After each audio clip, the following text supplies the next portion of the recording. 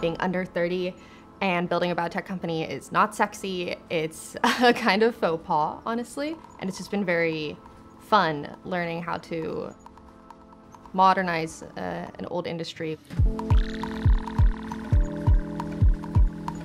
I'm Celine Halioua. I'm the founder and CEO of a company called Loyal. We develop drugs to extend dog lifespan, and I am 27 years old.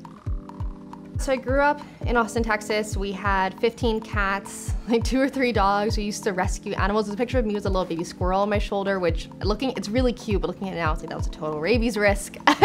so I'm definitely a huge animal person. But actually the reason why I started the company was the summer before I got to college for art school. I decided to do an internship at a neuro-oncology clinic.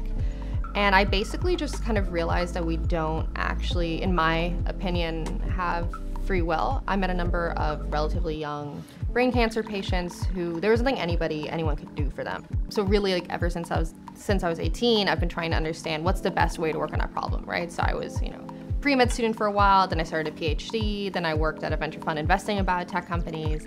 I ended up going to dogs first about two years ago because I basically realized that there was a huge unmet need, especially in the case of larger dogs, but also that dogs were a really awesome proving ground for potentially getting the first ever drug approved explicitly for aging and then translating what we learned from dogs over to people.